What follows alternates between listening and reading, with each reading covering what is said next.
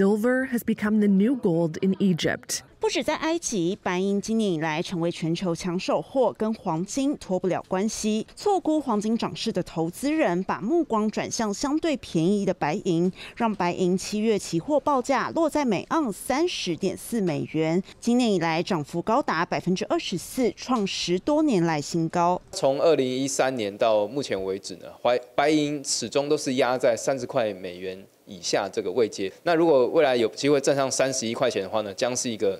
大型的底部成型，那我认为其实在往上延续到年底这个涨势，应该是蛮有机会的。白银对黄金价格脱离以往一比十的比例，根据牛津经济研究院预估，二零三三年白银总需求将增长百分之四十二，而不止白银需求看涨。People underestimate the amount of nickel that's in their everyday life. 世界最大金属消费国中国的镍矿，过去主要由菲律宾供应。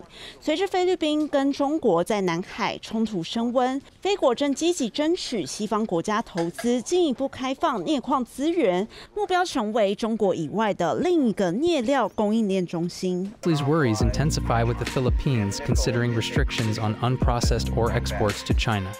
Such a move could inflate raw material costs, impacting companies like Direct Equipment Corporation. 毕竟镍是电动车锂离子电池内的重要成分，短短一年，全球需求量就从四十五万吨增加到五十五万吨。菲律宾聚焦生产更干净的镍料，要与中国掌控的印尼镍矿业互别苗头，力拼成为全球电池要角。三立新闻张庭祥、伊丽婷综合报道。